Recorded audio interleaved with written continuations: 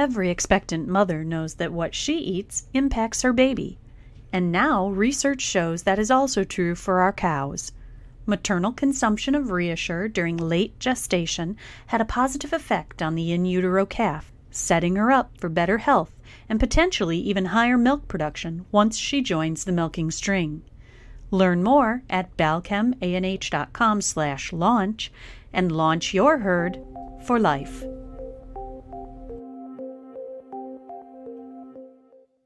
Hello, everyone, and welcome to the Real Science Lecture Series. My name is Scott Sorrell, Director of Global Marketing at Balchem. Today, we welcome Dr. Jim Drackley from the University of Illinois to dis discuss the weaning transition in dairy calves. Dr. Drackley is a professor of animal sciences at the University of Illinois. He received his PhD in nutritional physiology from Iowa State University. Since joining the faculty of University of Illinois in 1989, uh, his research program is focused on improving the health, welfare, and productivity of dairy cattle through nutrition. Specifically, his research deals with improving nutritional management of dairy cows during the dry period and transition to lactation, and nutritional management of baby calves to improve health and growth. Dr. Drackley has published extensively and received numerous awards for his research and work around the world. He served as on the latest uh, NASEM committee to produce the eighth edition of the NASEM publication, Nutrient Requirements of Dairy Cattle. Dr. Drackley, uh, the floor is now yours. Thank you, Scott, for the introduction, and I'm happy to be here with you today to talk about one of my passions in the young calf.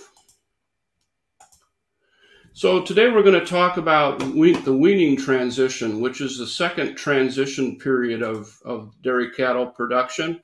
And it's really talking about the period uh, preparing for and adapting to weaning. A very critical stage of the animal's life where she's subjected to many different stressors. There's a lot of changes around weaning, and that sets up some uh, chance for stress in the young calf by definition, there's a change in diet where we remove milk and we change to a total reliance on dry feed and free water. Although not recommended, perhaps there's a change from a starter formulation to a grower formulation at this time. There's a change in environment as the animal is moved to a different location, perhaps the first time in a, in a, a pen with other animals, and that can lead to social stressors. So the, the first grouping with other calves. There's also the removal of the surrogate mom, that is, the caretaker that brings that nice warm liquid twice a day, uh, and the, the, the change to get away from the act of nursing or milk feeding. So these changes can lead to distress around the time of weaning. We often have growth slumps that are attributable to lower nutrient intakes and stress. Uh, we have adverse behavioral stress, where there's increased vocalization and decreased resting.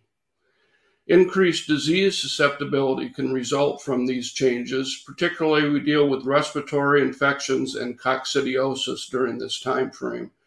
And again, that's due to impaired immunity uh, from both suboptimal nutrition and from the weaning stressors.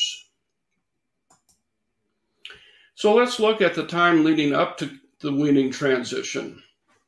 One of the changes that's happened over the last 10 to 15 years is that producers are feeding more milk or milk replacer to the young calf.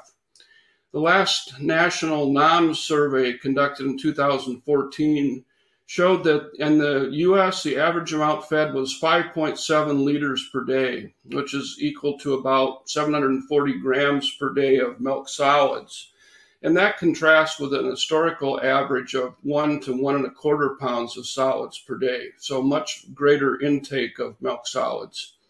Many farms are feeding six to more than eight liters per day. Along with this change, the death loss has declined over the same period. So our deaths in pre-weaned heifers declined from 11% of calves alive at 48 hours of age in 1996 to 6.4% in 2014. And it's likely that this is related to the better intake of nutrients during early life from a greater rate of milk feeding. Causes of death are largely unchanged, and scours and respiratory still account for about 80% of deaths. As you can see in the figure here, about two thirds of that is related to scouring and about one third to respiratory disease. So overall, we're doing better with the pre-weaned calf, in my opinion. On average, then, fewer heifers will die post weaning, and the NAHMS data again showed that the mean mortality was only 2.7% of heifers born alive, so much lower expected rates of, of mortality on average. However, there are far too many train wrecks still at weaning time. Uh, an anecdotal uh, example of this is that three large dairies, ranging from 12,000 to 20,000 cows, reported death losses around weaning of 20 to 30 percent of calves. Uh, that's from Mike Van Amburgh. Um, this is really not normal. This is unacceptable, and it highlights the the uh, potential disasters that we can have around this time in the animal's life. This also affects post-weaning performance in animals that, that do not um, die. So here are data again from the 2014 NAHMS report looking at the changes in body weight over weaning and then 90 days of age, so post-weaning. I've shown data here both for Holsteins and Jerseys. For completeness, should be cautioned that the Jersey data are based, based on much fewer observations so we'll just take a look here at the Holsteins. Again, on average, the pre-weaning performance is very good. The calves are more than doubling their birth weight. Um, the average daily gain of 730 grams per day. After weaning, however, the average daily gain slumped to only 0.6 kilograms per day. We can see that this is the same for, for withers height or hip height, excuse me, uh, in that the, the average post weaning gain is less than the pre weaning gain. So we're losing performance here across the weaning transition. Why do so many calves struggle at weaning? Let's take a look at some of the factors that make this a, a particularly uh, uh, uh a time fraught with so many difficulties. First, let's look at Mother Nature's feeding program, thinking again of the evolution of dairy cattle on a, a grass uh, environment, spring calving animals. Cow's milk contains 25 to 26% protein on a dry solids basis, so higher than our uh, conventional milk replacers. The feeding rate is more than twice the rate of our so called conventional feeding rate of milk replacers. So a kilo or a kilo and a half per day of solids versus about a half kilogram in our conventional feeding programs. And these feedings were spread over 12, 6 to 12 meals per day rather than two. The first solid feed would have been high quality fresh grass, which is very high in sugars and easily fermented fiber. That would lead to a greater butyrate production in the rumen, which is necessary for the development of the rumen epithelium and papillae. And weaning was a gradual process at a much older age in life, six to 10 months of age versus four to eight weeks in our, uh, in our housed feeding systems. So a lot of differences based, uh, uh, compared with the, the natural behavior of cattle. One of the things that happens during the weaning transition is that the empty body weight as a proportion of live weight decreases from before to after weaning. Now, empty body weight is the body weight minus the gastrointestinal tract fill or the, the digesta. In young milk fed calves that are receiving only milk, the empty body weight is 0.94 times the live body weight. In other words, 0.06 or 6% of the body weight as digesta in the tract. As the calf begins to eat starter, the proportion begins to decrease. So milk plus starter fed calf, NASEM set the, the um, equivalence at 0.93 times the live body weight. However, by the time the calf is weaned, the empty body weight will only be 0.85 times the live body weight. So gut fill is increasing during the weaning transition. Let's look at how that impacts average daily gain. These are data from Jennifer Stamey Lanier's work here at the University of Illinois. And we fed a conventional uh, milk replacer, a low milk replacer, a high milk replacer plus, plus conventional starter, or high milk replacer plus uh, high protein starter. The high rate of milk feeding, again, was about twice the, the uh, rate of the low milk intake.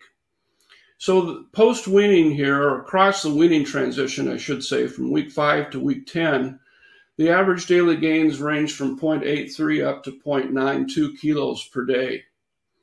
You can see the amount of digesta that was in the tract when we slaughtered calves at five weeks and 10 weeks of age, a great increase in the amount present at week 10. The average daily gain of body weight attributable just to the increase in gut fill is shown here, ranging from 0.21 kilo a day up to 0.28 kilogram per day.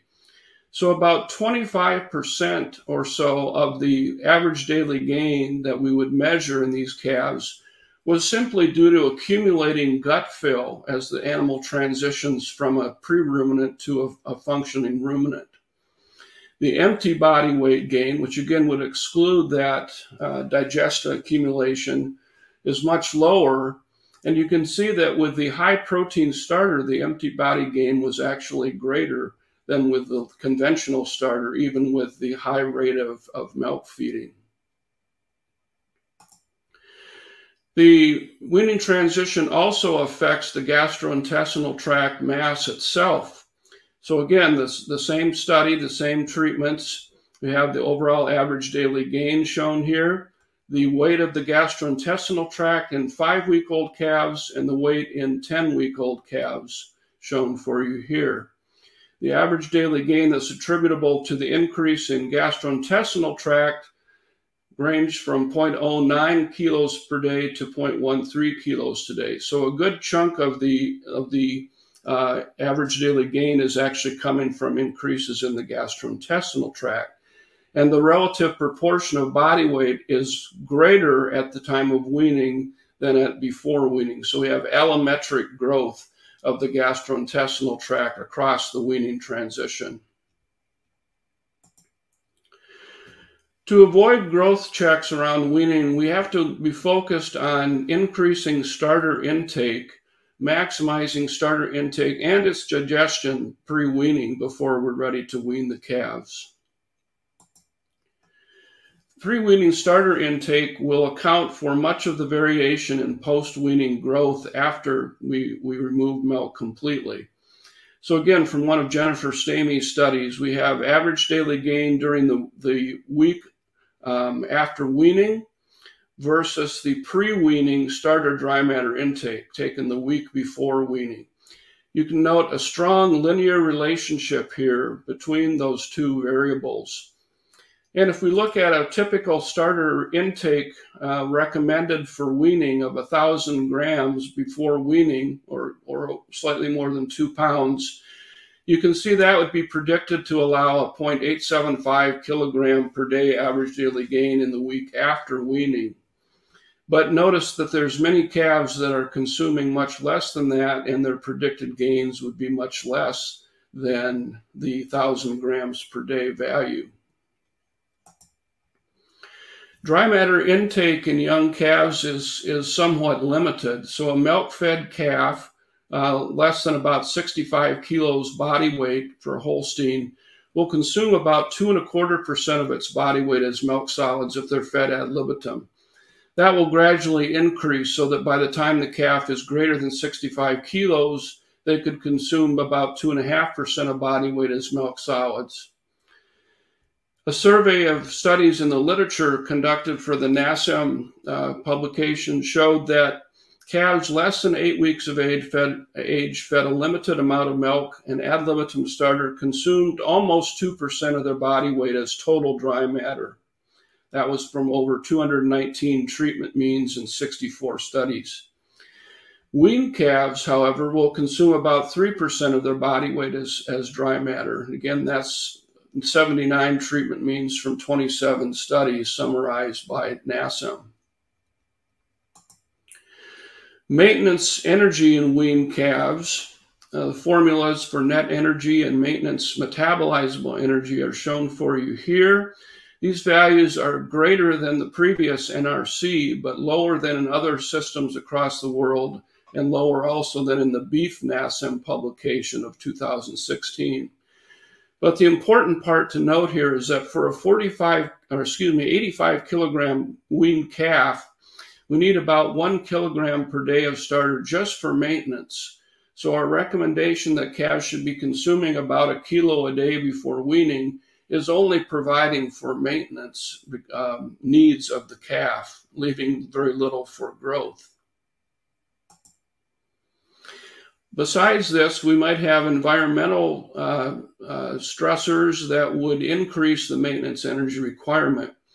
This table shows the increase in kilocalories of net energy needed for maintenance functions during heat stress, 40 or 35 degrees Celsius, or in cold stress at 0 or minus 10 degrees Celsius. The requirements are, are affected more uh, in the young calf than in the calf more than three weeks of age, but we still might have increases in a, a calf around the time of weaning of upwards of 30 to 35% in environmental extremes. Therefore, that calf would grow even less uh, for a given intake of, of starter around the time of weaning. The NASEM developed equations to predict starter intake in young calves being fed milk. The equation for you is, is quite complex, shown here, but it's a function of body weight, the metabolizable energy intake from the liquid diet, the age at which the starter is first provided, or in other words, a proxy for the age of the calf, and a couple of, of interaction terms here or quadratic terms. This equation is, is quite robust in its ability to predict starter, uh, particularly as calves get a little bit older. And if we graph out a typical situation, the starter intakes would look like this, which is typical of, of many studies, uh, shown for a, a, calf consuming a relatively low amount of milk intake. A calf consuming higher milk intake will consume less starter early. Both calves respond quite quickly to a reduction in milk intake and in the, the time after weaning. Starter intake is so important because it drives rumen development. We're trying to develop several things in the, the young rumen. We're developing the size or volume of the rumen. That's driven primarily by the calf eating anything, whether it's, it's uh, uh, hay or starter. The musculature of the rumen is driven more by bulk, so it would be affected more by, by uh, fibrous feeds than by concentrates, but we usually don't have to worry too much about those two developing. The absorptive epithelium or papillae, that development is driven by volatile fatty acids produced by fermentation of, of dry feed intake. And then development of the microbial population, which again is driven by consumption of feed that produces volatile fatty acid and depends on the epithelium for acid absorption. So really we're focused on the, latter two aspects here of developing the absorptive epithelium and the microbial population. The size and volume and the musculature are going to come along with, with consumption of, of feed in general. As we think about the effects of diet then on rumen development, milk and hay do little to develop rumen epithelium. Um, hay is just too poorly digested to uh, contribute to VFA formation and rumen development. Starter grain providing starch or fresh grass providing sugars is the key to development of rumen papillae via, via VFA production. The papillae development can occur by three to four weeks of age with good starter management, and the process takes about three weeks no matter when we start. Here's what we're trying to develop. This is a rumen and, and reticulum, reticulum and rumen here shown in a six-week-old calf that was fed milk only. You can see the pale color and the smooth surface of the rumen. there's very little, if any, papillae development. In a six week old calf that's been fed milk and grain, we see a very different picture. The rumen is and reticulum are dark in color, and the rumen is covered with a, a, a, shag rug type of, of structure of the papillae, and we have very pronounced development of the honeycomb structure of the reticulum. If we have insufficient rumen development, so not enough starter intake before weaning, we will have decreased nutrient digestibility after weaning. This is a study from Spain in which they measured digestibility in calves after weaning for calves that were fed either low or high amounts of milk replacer. The apparent digestibility of dry matter, crude protein, fiber, and energy are all reduced about 7% except you can see the dramatic reduction in fiber digestion for the calves that were fed the larger amount of milk. Now, again, this is due to the fact that those calves had been consuming relatively less starter uh, compared with the calves fed the lower amount of milk. So their rumen is, is more highly developed than the calves that were fed the high amount of milk. NDF digestibility, in my view, is a particularly robust indicator of the status of rumen development. As a consequence, the actual metabolizable energy obtained from digestion may be lower than the calculated value if the rumen is not fully developed, developed. And that was shown in a nice set of studies by Jim Quigley and his group at Provimi. This is common, again, in calves fed large amounts of milk. In the NASEM 2021 model, users have the option to use a discounted ME value for starter for calves that are consuming larger amounts of milk. Now, as the calf approaches weaning, the tissue requirements for energy and amino acids do not change the, the requirements at the tissue level for energy and amino acids stays the same for a given rate of, of body weight gain. Also, the efficiency of use of the metabolizable energy from VFAs and the milk digestion end products is not greatly different. But there are large differences in digestibility of those two diets. The metabolizable energy of starter is only 60 to 70% of the ME in milk replacer or whole milk. So the growth expected will be only about two thirds of that on an equal dry matter consumption from milk replacer. To illustrate this in another way, let's look at the starter dry matter intake that's required to support various rates of gain in weaned calves of mm-hmm. two different body weights. So we have calf body weights of 60 or 80 kilograms at weaning, perhaps uh, uh, thinking of Jerseys versus Holsteins, and two different average daily gains before weaning, 600 or 800 grams per day. The starter required to fuel that same amount of growth after weaning is shown here and ranges from about 1.7 kilo a day up to two and a quarter kilos a day. Again, because of differences in energy content of starter and its availability and use by calves, we would need 1.4 to 1.7 times more starter than milk replacer for the same amount of body weight gain. So let's con uh, consider some factors then, given this background, that contribute to poor weaning performance and traumatic weanings. There are a number of factors which we'll consider here. Weaning too early, weaning from high amounts of milk that's not gradual enough, too much forage, poor starter quality or composition that is too high in starch, poor palatability, or has particle size issues, poor water management, and stacking stressors at weaning. We'll go through each of these starting with weaning too early. As we've mentioned already, calves that are fed greater amounts of milk have lower starter intakes at a given age than calves fed a limited amount of milk.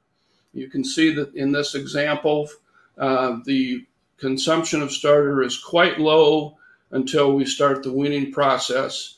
And the, the calves fed a, a larger amount of milk in an intensified system uh, begin to catch up. But at the time of weaning, the starter intake was considerably lower in the calves fed the intensified milk replacer. This can result in weaning slumps. So here we have a, a different study with similar design. Uh, the weaning causes a, um, uh, reduction in average daily gains. Calves are still gaining, just not as rapidly whereas we have a, a, relatively smooth pattern of increasing average daily gain in the conventionally fed calves. Note that uh, uh, by a week after weaning, the average daily gains have equalized again. Here we have daily starter intake around the time of weaning, just to show the pattern of intake increase in calves. So again, three dietary groups here with a low rate of, of feeding or conventional rate of feeding, a high rate of milk feeding with a 22% protein starter, and a high rate of milk feeding with an 18% uh, crude protein starter. You'll note that when we went to uh, one feeding per day, the starter intake increases quite quickly for two to three days after that change and then tends to plateau again at that uh, new level of milk feeding. One week later, at complete weaning, again the same pattern. We have increases in starter intake for all the groups for two to three days before reaching more of a plateau. Uh, also interesting that the 22% protein starter seems to increase more quickly uh, at the time of weaning than the lower protein starter. This is a study from Mike Steele's group, and it shows two different weaning ages for calves that were fed up to eight liters of milk per day. You look at the milk consumption pattern here, you can see they're both fed eight liters of milk for several weeks. Uh, the, the weaning calves at six weeks per age with a reduction in milk for one week, and then a complete weaning, or weaning beginning at eight weeks of age, uh, showing a, a, partial decrease and then the complete weaning by, by uh, uh, eight weeks of age. The calves that were weaned at six weeks of age had a growth slump. You can see in the, the bottom figure where the weights of the calves um, slow, the increase slows here and becomes less than the calves that were weaned at eight weeks of age. That can be explained by the intake of energy in, in the calves. This is metabolizable energy intake. You can see this curve is the starter intake, and that's increasing slowly. And by the time of weaning here in the six week weaning age, the starter intake is quite low and not contributing very much to the metabolizable energy intake. So the total um, total metabolizable energy intake um, is quite low around the time of weaning, or we have a large decrease from the time pre weaning to after weaning. In the eight week calves, the starter intake has increased uh, to a greater extent, and so there's very little decrease in metabolizable energy intake, or certainly much less of a decrease than in the six week wean calves. This is another study from, uh, from Canada, and it compares three treatments a, a low fed group consuming about five liters of, of milk per day and weaned at eight weeks of age, a group fed considerably more, about twice as much milk, but also weaned at eight weeks of age, and a group consuming a, a high amount of milk for a much longer period and not weaned until 14 days, uh, excuse me, 14 weeks of age. Starter intake for those groups is shown here. The low milk fed groups had the greatest intake. The early weaned high milk groups were slightly lower in starter intake, as we might expect. And the late weaned group was uh, maintaining quite a low intake of starter until the weaning process began at 11 weeks of age. The weight gains during weaning, the mean gain here was was uh, not different between the um, low milk early weaned group and the high milk late weaned group, but a, a, considerable loss of weight gain here in the calves that were fed high amounts of milk and weaned early. that carried over also to the period after weaning. And so, really setting up calves to be at a disadvantage around weaning by weaning them too early. A second factor is weaning from high amounts of milk that is not gradual enough to abrupt uh, at weaning.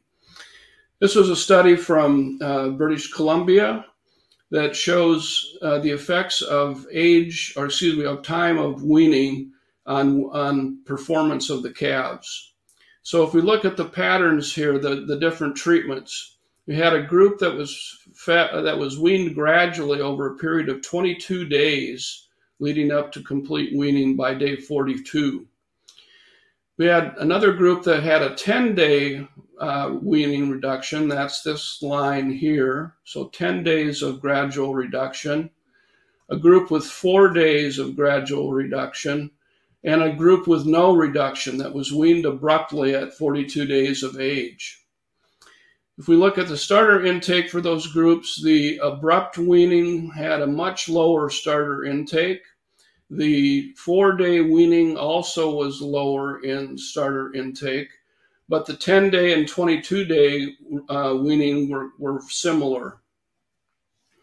The body weights then shown here, the abruptly weaned calves um, had lost average daily gain here around the time of weaning. The um, 22 day weaning calves never gained as much because they were being reduced in milk intake at an early age.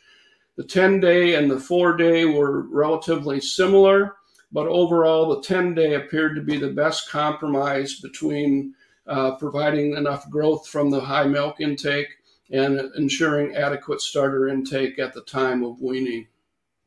So, we certainly do not recommend abrupt weaning and a period of a week to 10 days of gradual milk reduction seems to be optimum. This was a study from our group just showing uh, the effects of gradual weaning here. Uh, we had two, three weaning reductions, excuse me, before complete weaning from quite a high intake of, of milk replacer. You can see starter intake is increasing in a nice uh, curvilinear pattern and the average daily gain then, while some variability was generally maintained here across the weaning transition. A third factor leading to poor weaning performance is too much forage fed before and, and around the time of weaning. Uh, ad libitum forage feeding can certainly harm the, the weaning transition if it's the wrong type of forage. Calves that are fed ad libitum hay and limited concentrates do not grow as well and are often in poor health after weaning compared with calves that are, are fed limited or no amounts of, of hay.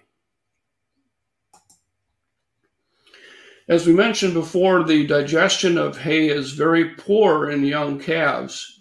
Part of this is due to the fact that rumen pH is very low before weaning you can see in this study that, that pH after feeding drops very low, below 5.5 for much of the day, even when fed some hay.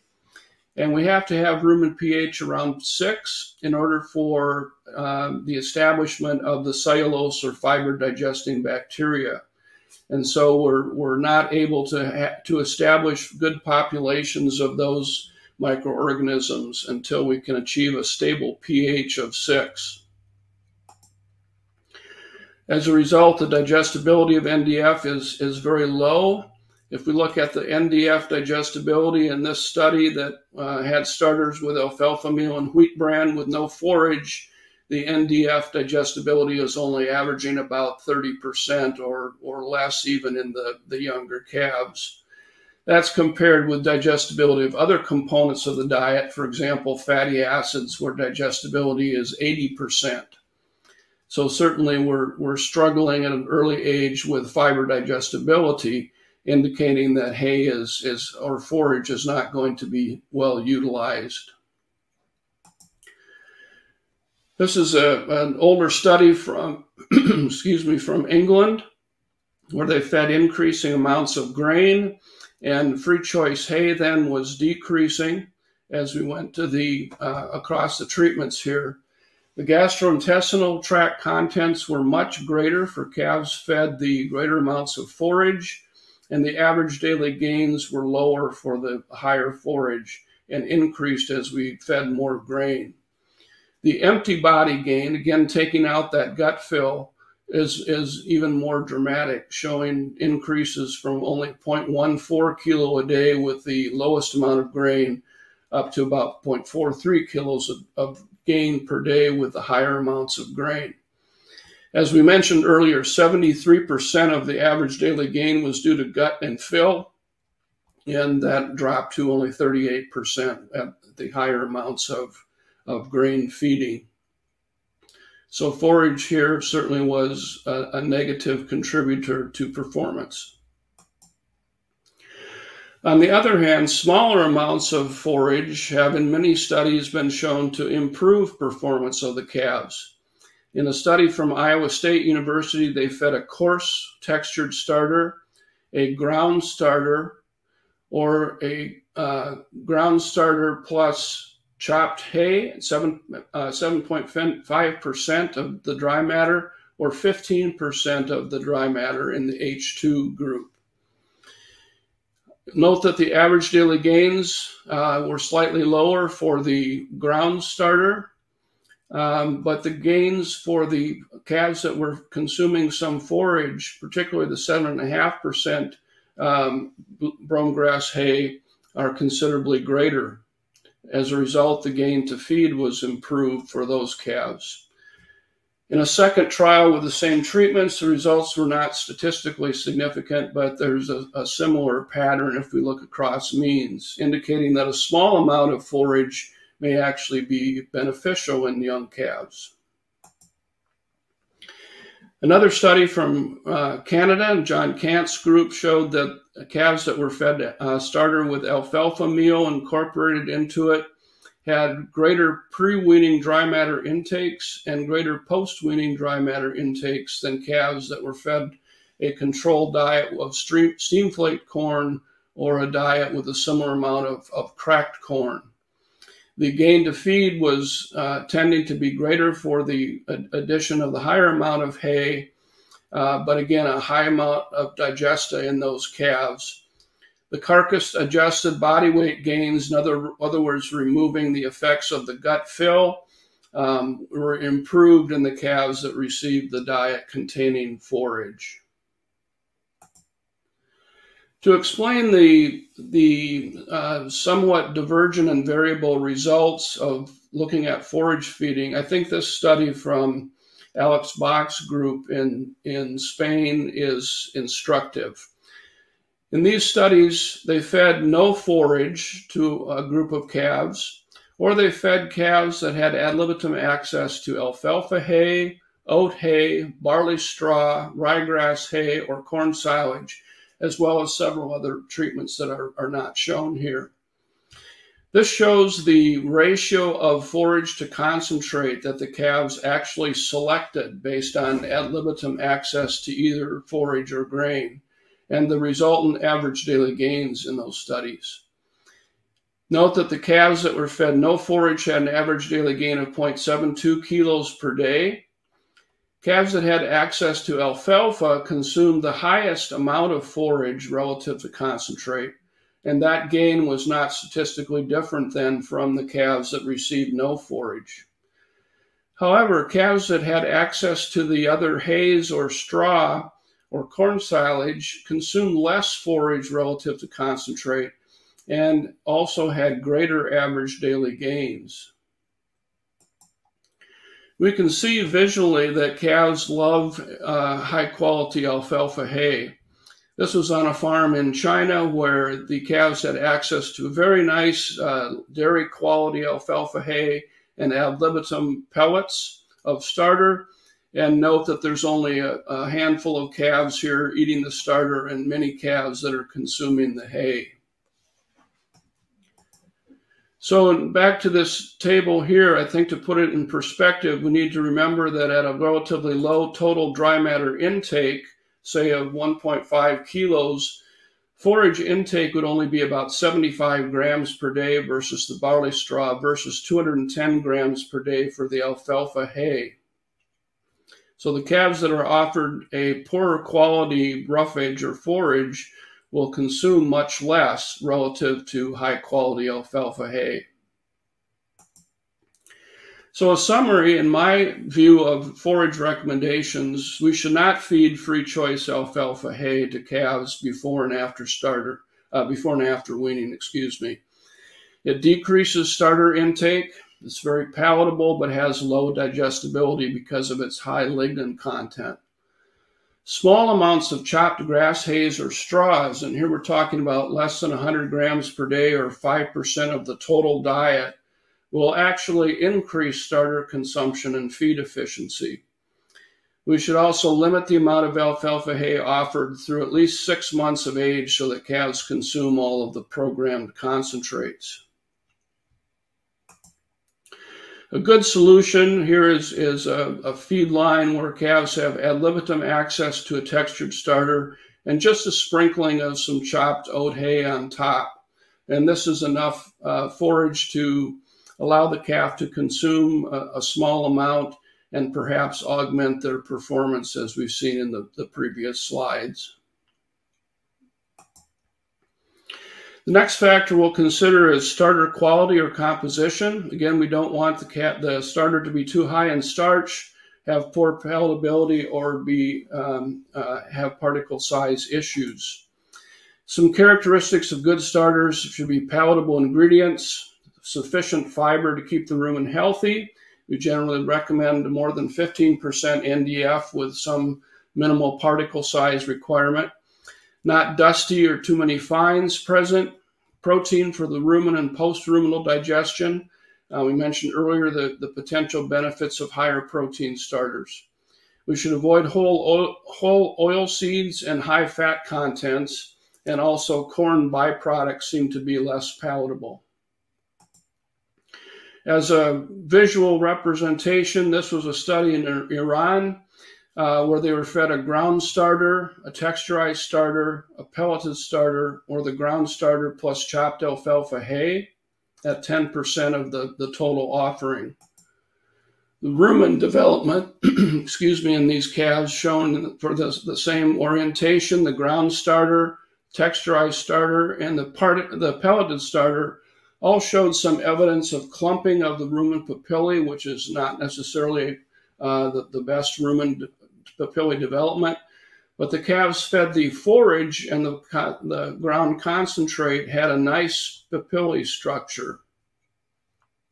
Again, highlighting the importance of some fiber and the potential benefits of, of some forage fiber in the, in the diet. Digestible fiber versus sugars and starch is another uh, content of uh, uh, topic of interest currently. Typically, starch content of starters has been 35 to 40 percent of dry matter, and there's been concern recently that this contributes to very low rumen pH in transitioning calves, where they might be below five for much of the day, and certainly in a, an adult ruminant that would not be healthy. The trend in the industry has been towards lower starch and higher digestible fibers and higher sugars, although comparative data are limited. This is a starter formulation from one of Mike Van Amburgh's studies, just showing the, the concept here. Uh, ingredients in a pellet, some bypass protein, um, wheat midds, canola meal, sugar, dried whey, also contributing sugars, some blood meal, rumen protected methionine, minerals, vitamins, and additives, along with then flaked corn, um, a relatively high amount of beet pulp, and molasses. So such a starter has a nutrient profile looking like this, about 20 half, 25% protein, or in other words, a 22% as fed starter. Um, moderate in NDF content and low in starch content, uh, compared with some of our high starch starters, high in sugars as well, so very favorable to rumen development. Another factor contributing to poor weaning uh, success is poor water management. And as an example here, we have these nice calf pens and a nice calf bowl, but it's uh, completely dry. Water certainly is an important nutrient. We need milk or milk replacer that, um, excuse me, milk or milk replacer bypasses the rumen, whether fed by nipple or bucket. So we need water to enter into the rumen and support the microbial environment. For one kilo of starter intake, we need about four liters of water intake. And if we have inadequate water intake, there will be less starter intake and decreased growth. Um, just a study again from Mike Steele's group with the six versus eight week weaning. But the point here is that the patterns of water consumption and starter consumption are almost identical. Finally, it's uh, the final uh, stressor that we'll consider is stacking stressors at the time of weaning. And if we think of stresses, stressors as being like a tower of blocks, if we stack too many stressors at the same time, eventually that tower is going to collapse and will lead to disease or, or even death in calves. Particularly, we should avoid uh, uh, additional management stressors such as dehorning or vaccination at the same time as the calves are subjected to the um, social stressors and nutritional stressors of weaning. So again, to summarize, to avoid these traumatic weanings, we don't want to wean too early, want to wean gradually, not feed too much forage, feed a high quality starter, provide fresh water, and not stack stressors around weaning. With that, I, I thank you for your attention and we'll be glad to address some questions. All right. Thank you, Dr. Drackley. Uh, before we get started answering questions, uh, I'd like to share a brief video and then we'll be right back to answer the questions submitted during today's presentation.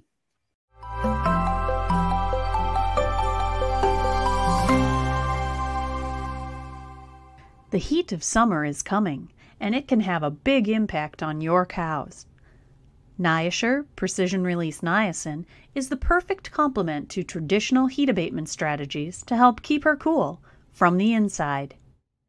Using Balchem's proprietary encapsulation process, NiaSure delivers eight times more bioavailability than raw niacin, leading to an increase in sweating and vasodilation to reduce internal body temperature and support maximum productivity.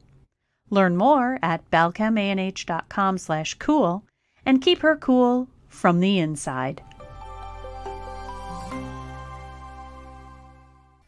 All right. As a reminder, you can still submit questions through the Q&A tab at the top of your screen. Uh, Dr. Drackley, your first question is, um, can fresh grass for pre-weaned calves contribute to bloat issues uh, in calves?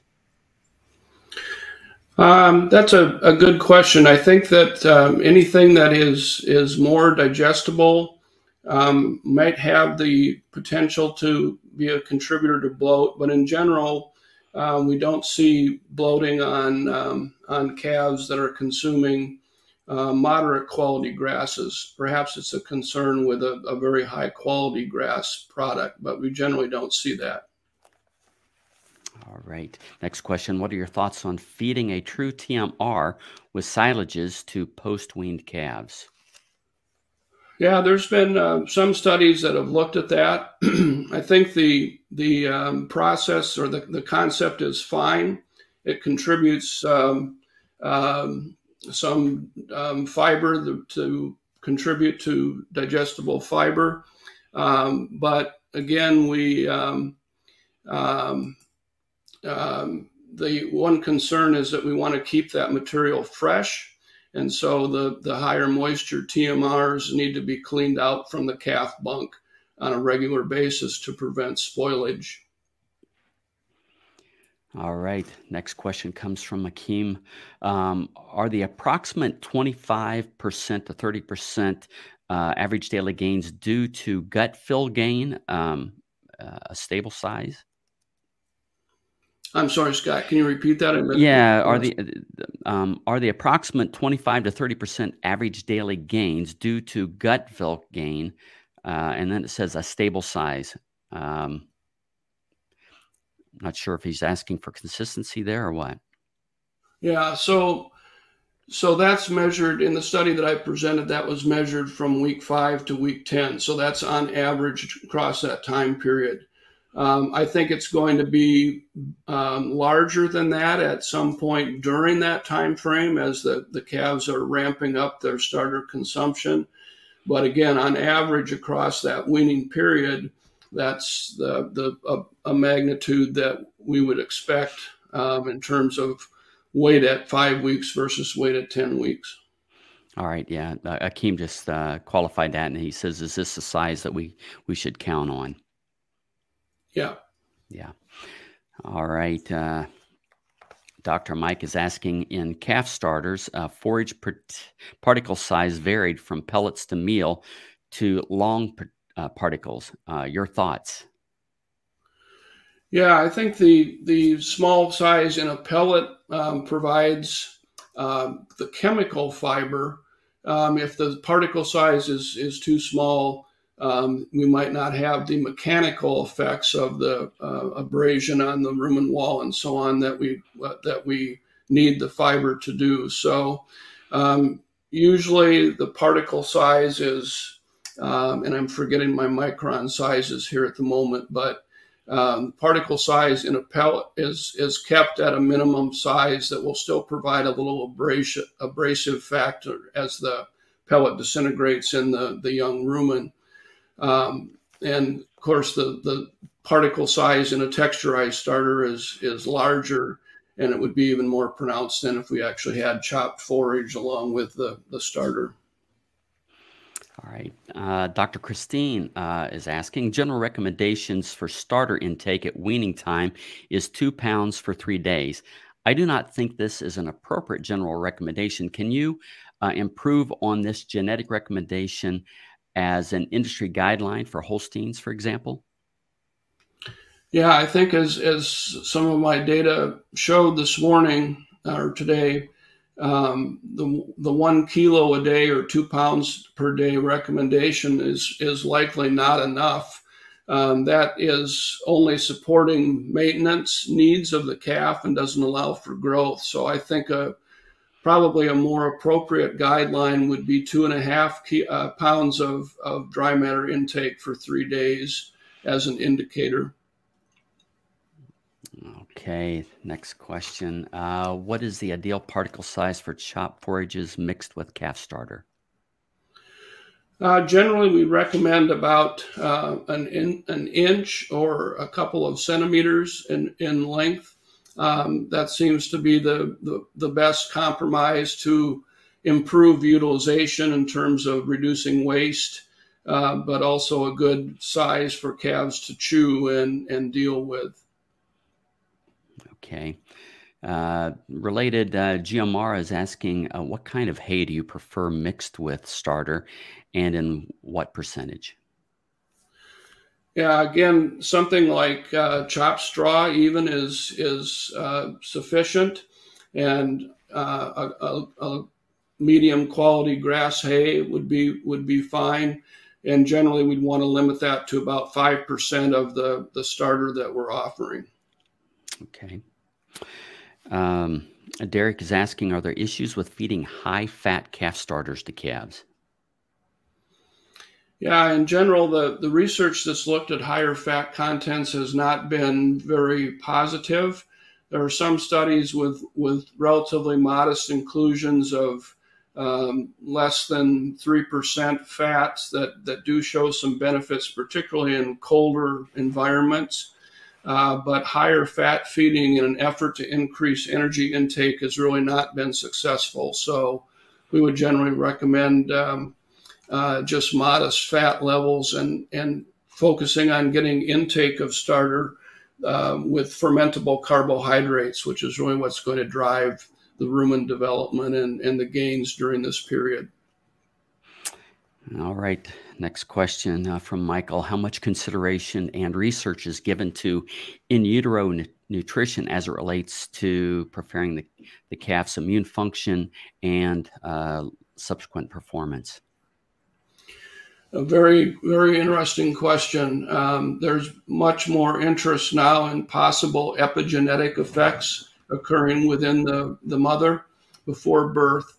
Um, a number of studies recently are, are starting to look at the effects of what what uh, dry period nutrition of the mother is is having on the calves as well. So I think we'll see a lot more um, evaluation of different nutritional strategies during the dry period on the performance of their calves as we continue to move forward now. Okay, Sherry is asking uh, if starter protein is lower than you would like, uh, would it help to top dress either a little soy or alfalfa meal? Um, we could we could do that. Uh, I think the the concern is we'd like to have that all in more of a, a quote TMR uh, type of approach rather than than separating the the uh, ingredients, but um, that that could be done as a temporary measure. All right. Next question is from Caleb. What are your thoughts on feeding a sodium bicarbonate or anti-caking agent to uh, calves before, during, or after weaning? Yeah, the, the the research on sodium bicarb is is uh, somewhat mixed. I think there's a um, um, there, there may be some benefit, but it's it's not a strong benefit. Certainly, the anti-caking agents um, uh, may have some impact on starter texture that that could improve consumption and prevent fines and so on. All right, next question is from Alberto. Uh, um, extruded corn, is it better than ground corn for development of calves? Yeah, I think the the processing of the corn, anything that we can do to improve starch digestibility, is going to have a, a generally positive effect on the, the rumen development. Okay, next question from Peter is feeding calves in pairs. The buddy system still recommended. Uh, this was a bit of a hot topic for a while, but I haven't heard much about it lately. Yeah, I think that, it's um, the, the um, research and, and discussion about it has kind of cooled off. I, I think there's um, there's been a mixed reception to that in the field.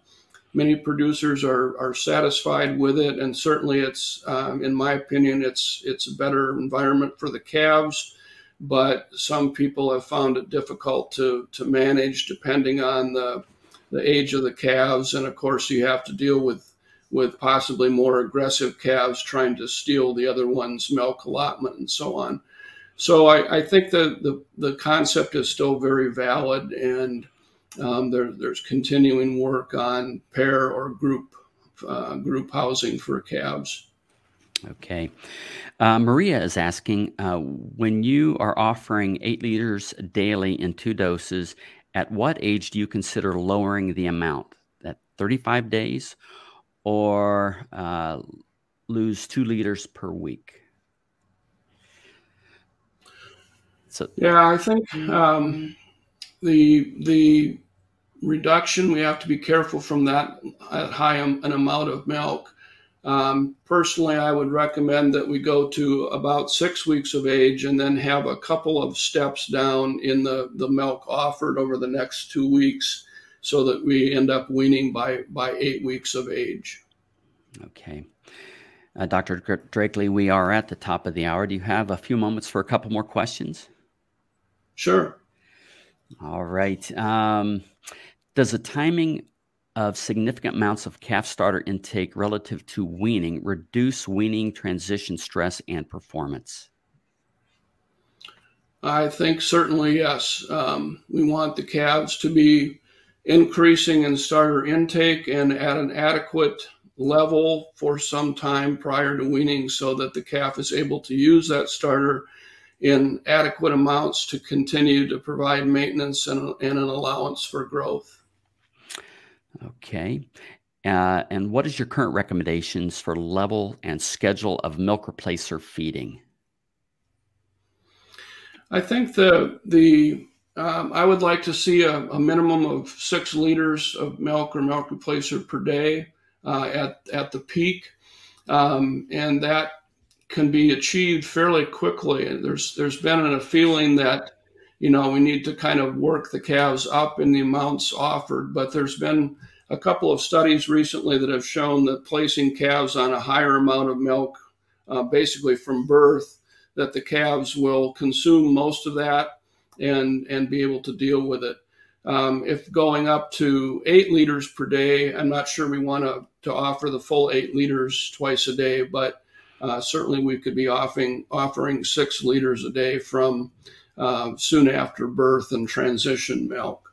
Um, after that, maintaining the, the higher level of milk again up until about 42 days, and then uh, a, a, step down or two steps down, weaning towards uh, uh, towards eight weeks of age. All right. and our last question comes in from Stefano. Do you have any tips to stimulate early calf starter intake in pre weaned calves? I think making it available and keeping it fresh in small amounts is is important. Um, uh, again, some people try to introduce some in, by hand feeding into the, the calves, but that's um, uh, more difficult with larger numbers of calves. But I think this starting them out early with, with small amounts and keeping it fresh is a uh, is a good way to encourage early develop early consumption. All right. Thank you, Dr. Drackley. This has been a very interesting webinar, and thank you, everyone, for attending today's webinar. If you have additional questions, please submit them to anh.marketing at balchem.com. The Real Science Lecture Series of webinars continues on August 1st with Wild Yeasts and Aerobic Stability of Silages and TMR with Dr. Limin Kung from the uh, University of Delaware. Visit balchem.com slash real science for more details and to register for all future webinars. Balchem's podcast series continues to offer a deeper dive into our webinar topics. Log on to your favorite podcast platform and search for Real Science Exchange or visit balchem.com slash podcast.